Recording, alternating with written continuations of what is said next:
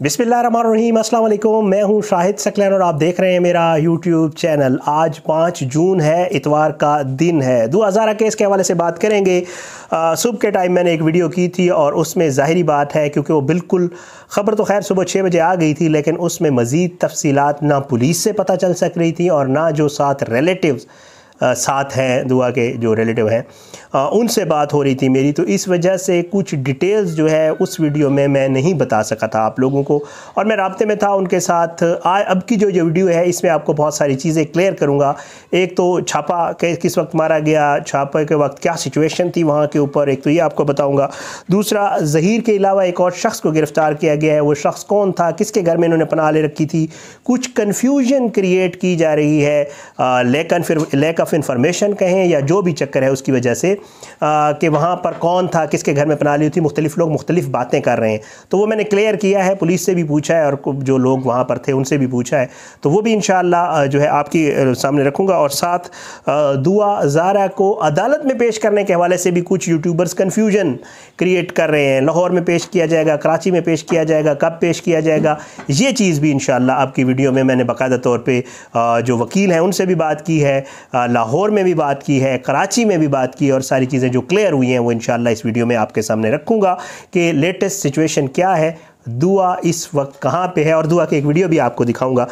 जब इन लोगों को जो है, दुआ को बाजियाब करवाया गया ज़हीर और दुआ को जब पुलिस ने अपनी कस्टडी में लिया, क्योंकि पंजाब पुलिस भी साथ शामिल थी और पंजाब पुलिस ने ही ये सारा कुछ किया है तो उन्होंने उस वक्त जो है, उनकी एक छोटी सी वीडियो बनाई है। उस वीडियो को देख के आपको अंदाज़ा हो जाएगा कि उस वक्त दुआ और ज़हीर की क्या सिचुएशन थी, दुआ की सेहत कैसी है क्योंकि कहा यह जा रहा है कि जो मेरी बात हुई है, उनके जो रिलेटिव साथ थे, उनके मुताबिक दुआ जो है वो बीमार है शी सिक तो वो आगे चल के इनशाला आपको तफसील बताता हूँ। पहले आप ये ज़रा थोड़ा सा देख लें।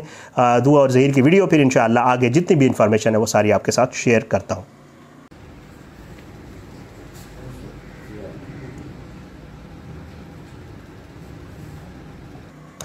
दो और जहीर की वीडियो आपने देख लीजिए अब सूरत हाल ये है कि ये छापा रात को मारा गया और इसके हवाले से जो है अभी तक जो डीआईजी इन्वेस्टिगेशन है, उनसे जो बात हुई है, उन्होंने जो बताया वो मैं आपके सामने रख देता हूँ। उन्होंने कहा कि जी सीसीपीओ लाहौर जो है, उन्होंने दुआ की बाजियाबी के लिए जो है, वो टास्क दिया हुआ था डीआईजी इन्वेस्टिगेशन को। डीआईजी इन्वेस्टिगेशन कहते हैं कि एसएसपी इन्वेस्टिगेशन की सरबराही में जो है सीआईए लाहौर ने, कल मेरे किसी व्यूवर ने पूछा था सीआईए तो अमेरिकन एजेंसी है, लेकिन सी आई ए हमारे मुल्क में भी है और ये जो है काम करती है पुलिस के साथ मिल के और ये समझ लें कि पुलिस की एक एजेंसी के तौर पर काम करती है। बहरहाल सी आई ए जो है उनकी इन्वेस्टिगेशन की एस एस पी इन्वेस्टिगेशन की सरबराही में सी आई ए लाहौर ने मुख्तलिफ़ टीमें तश्कील दी थी। ये डी आई जी इन्वेस्टिगेशन का कहना है, और मुख्तलिफ़ इलाकों में इन टीमों ने छापे मारे थे मुख्तलिफ़ अवकात में, लेकिन बिल आखिर इनको इतला मिली थी कि जो है इन्होंने जो गुजशत रोज़ गिरफ्तारियाँ की थी, मैंने आपको बताया था कि उसमें एक आसिफ नामी और एक वसीम नामी एक वकील है और आसिफ नामी एक दोस्त है ज़हीर का।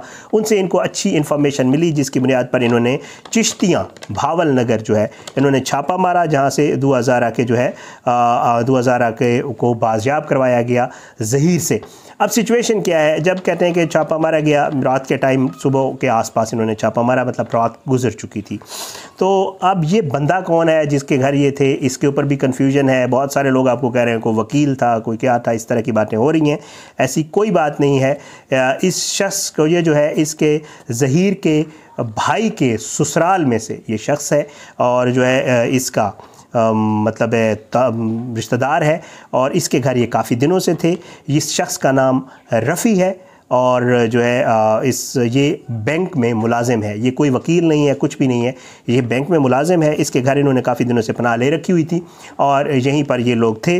अब मुख्तलिफ़ हवाले से मुख्तलिफ़ बातें की जा रही हैं, लेकिन ज़ाहरी बात है, जो मुझे इन्फॉर्मेशन मिली है पुलिस से और मुख्तलिफ़ ज़राए से, वो मैंने आपके सामने रखी है कि जी ये छापा मारा गया, बाकायदा इतला के ऊपर और रफ़ी नामी शख्स जो है, ये बैंक मुलाजिम है।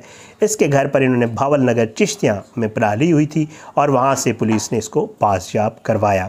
छापे के टाइम की थोड़ी सी मैंने जो इन्फॉर्मेशन ली है, छापे के टाइम जो है हैरान हुए सब क्योंकि एक्सपेक्ट ये किया जा रहा था। मुख्तलिफ़ मौाक़े के ऊपर जब भी पुलिस छापा मारती थी लीक हो जाती थी इन्फॉर्मेशन और जहीर और दुआ वहाँ से मूव हो जाते थे या मुख्तलिफ़ जगहों पर पुलिस को डॉज भी किया गया, वो मौजूद नहीं होते थे, लेकिन रे डॉज किया गया कि जी वहाँ पर मौजूद हैं।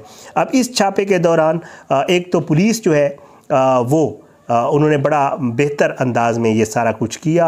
इसकी इतला किसी को भी नहीं थी इस छापे की। इस छापे की इतला बहुत कम लोगों की थी। पुलिस से जो मेरी बात है, उन्होंने कहा कि वो लोग जिन्होंने ये रेड करना था, उनको रेड करने से जब जिन्होंने उस जगह पे छापा मारा, उससे पहले भी इंफॉर्मेशन नहीं थी कि हम किसके लिए रेड करने जा रहे हैं। बहुत सीक्रेट रखा गया था इस चीज़ को।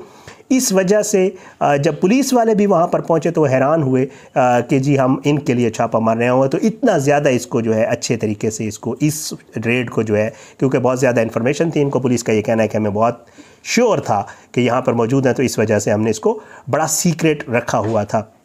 वहाँ पहुँचने पर आ, कोई हैरान इसलिए हुए कि वहाँ पहुँचने पर कोई कोशिश नहीं की गई जब जहरी बात है ज़हीर को ये महसूस हो गया कि जी अब बचने की कोई सूरत हाल नहीं है तो उन्होंने बाकायदा तौर पे जो है वो आराम से जो है वो वहाँ पर सरेंडर किया और फिर उसके बाद सामान वगैरह इनका पैक करवाया आपने जो वीडियो देखी है, उसमें भी बाकायदा जो ज़हीर का जो शोल्डर बैग है, उसमें इनके कपड़े शपड़े और जो भी सिचुएशन थी, वो इनने करवाई और उसके बाद ये पुलिस, पंजाब पुलिस ने हैंड ओवर किया सिंध पुलिस को और सिंध पुलिस जो है वो बाकायदा तौर पर मेरी जो बात हुई है, तकरीबन दो से ढाई घंटा पहले ये लोग भावलपुर, क्रॉस। मतलब they are going to Sindh और अब जो मेरी, जब पता नहीं वीडियो अपलोड होगी तो मेरे ख्याल से ये जो पंजाब और सिंध का जो बॉर्डर है, मेरे ख्याल से ये कश्मीर वाली तरफ़ से ये जो हमारा मोटरवे जाता है, मुल्तान टू सखर और ये कराची, उसी पे ये जा रहे हैं। तो उसी पे ही ये लोग ट्रैवल कर रहे हैं और ये लोग अब सिंध में, उम्मीद यही है, जब मेरी वीडियो कर रहा हूँ तो मेरे ख्याल से ये लोग हो चुके होंगे। एक चीज़ और जिसके हवाले से बिल्कुल कन्फ्यूज़न है और कहा जा रहा है, देखें दो जगह पर दुआ को जो है वो मतलूब थी, दो जगह पर ज़हीर मतलूब था। एक तो लाहौर हाई कोर्ट में एप्लीकेशन और लाहौर हाई कोर्ट के चीफ जस्टिस ने बाकायदा तौर पर कहा था कि हर सूरत में बच्ची को पेश करें। दूसरा जो है, वो सिंध हाई कोर्ट बड़े एक्टिवली काम कर रहा है इकबाल कलोड़ो साहब का। मैं बार बार नेम लेता हूँ जस्टिस इकबाल कलोड़ो साहब का। उन्होंने भी बड़ी सख्ती से आर्डर किया हुआ था। एक आईजी को भी फारिग किया और उन्होंने कहा कि जी, सात दिन में बच्ची को हर सूरत में पेश करें। अब यहाँ पर कन्फ्यूज़न थोड़ी सी लोग क्रिएट कर रहे हैं कि शायद पहले पंजाब में पेश किया जाएगा, कोई कानूनी कार्रवाई की जाएगी। इन्फॉर्मेशन ना होना या फिर ज़ाहिर है पता ना करना और वैसे वो करना तो उस पर थोड़ा सा इशू होता है। सूरत हाल ये है, जो मेरी बात हुई है, वो ये है कि जी, बाकायदा तौर पे अब इसको सिंध हाई कोर्ट में कल सुबह पेश कर दिया जाएगा दुआ और ज़हीर को। मैंने ये इन्फॉर्मेशन ली कि जी, आखिर कोर्ट ने तो ऑर्डर किया हुआ है सात दिन बाद का और उस सात दिनों में बहुत सारे दिन रहते हैं, दो दिन हुए हैं, पाँच दिन मज़ीद भी बाकी हैं। तो उन्होंने कहा ऐसा कुछ नहीं होता, जो वकील है मेरी उनसे भी बात हुई, उन्होंने कहा, नहीं जी, ऐसा नहीं होता। उन्होंने तो सात दिन का ऑर्डर किया हुआ है, लेकिन जब भी रिकवर हो जाए, इसका मतलब ये होता है कि अगर किसी वक्त भी रिकवरी हो जाए, चाहे उस ऑर्डर के घंटे बाद भी रिकवरी हो जाए तो उसके अगले दिन या उस दिन अगर वो वर्किंग डे हो तो जो है उसको पेश किया जा सकता होता है। तो इस चीज़ को देख कर अब ये जो वकील हैं इनके, जो लाहौर में भी वकील हैं, कराची में भी अल्ताफ़ खोसो साहब हैं, सब लोग जो लीगल टीम है काजमी साहब की, ये लोग अब कल सिंध हाई कोर्ट में पेश होंगे। सिंध हाई कोर्ट में कल दो हज़ारा को ज़हीर को पेश कर दिया जाएगा। कल ज़हरी बात है, वहाँ पर बयान भी होगा। कल का जो दिन है, बहुत अहमियत का हामिल है और कल भी इन कोशिश यही होगी कि वहाँ पर जो भी सिचुएशन हो, जितनी भी ताज़ा तरीन कोर्ट की सूरत हाल हो इन कोशिश करेंगे कि वो जो है आप तक पहुँचाएँ। कुछ मज़ीद इन्फॉर्मेशन जो है, वो मेरे पास है। इस हवाले से किसने मुखबरी की, क्या सूरत हाल है, क्या कुछ हुआ? वकील से मेरी बात हुई है, वालद से बात हुई है, वो सारी चीज़ें जो है आपके सामने इन अगली वीडियो करूँगा तो उसमें ये सारी चीज़ें रखूँगा, क्योंकि वीडियो थोड़ी लंबी हो जाती होती है। बहरहाल जी, ये सिचुएशन थी अब तक की, क्योंकि दो तीन कन्फ्यूजन्स पैदा हो गई थी। मैंने कहा, एक तो कन्फ्यूजन्स क्लियर कर दूँ, ताज़ा तरीन सूरत हाल अब तक पहुँचा दूँ। अब तक की ये सूरत हाल है इन कि आज शाम होपफुली जो है, वो ये लोग कराची के आसपास होंगे और रात में इन ये लोग कराची पहुँच जाएँगे। और ज़ाहिर है ये पुलिस कस्टडी में होंगे। बहुत सारे लोग मुझे कह रहे हैं कमेंट्स में कि जी उनकी वीडियोस भेजें वालदे वालदेन से मिलने की इन कल कोर्ट में ही मुलाकात होगी। वालदेन से ये नहीं होगा कि जी इनको पहले वालदेन से मिलवा दिया जाए दुआ को। या पुलिस अगर कोई अरेंजमेंट कर देगी रात को वालदेन से मिलने की तो मे बी। इट डिपेंड्स उसकी भी इन्फॉर्मेशन मिलेगी तो इंशाल्लाह अगली वीडियो में आपके साथ शेयर करूँगा। लेकिन अब तक की ये सिचुएशन है कि कल कोर्ट में पेश किया जाएगा, वहीं पे जैसे निमरा से वालदेन की मुलाकात हो गई थी तो वहीं पे मुलाकात भी हो जाएगी और जो वहाँ पे जितनी भी सिचुएशन होगी, इंशाल्लाह आपकी खदमत में रखूँगा। बस अपनी दुआओं में याद रखा करें, अल्लाह पाकिस्तान का आम नासिर, इसके खिलाफ चेक करने वालों को नसनाबूद करे। अल्लाह ालमों को इबरत का निशान बनाए, मजलूमों को इंसाफ मिले। पाकिस्तान जिंदाबाद, अल्लाह हाफिज़।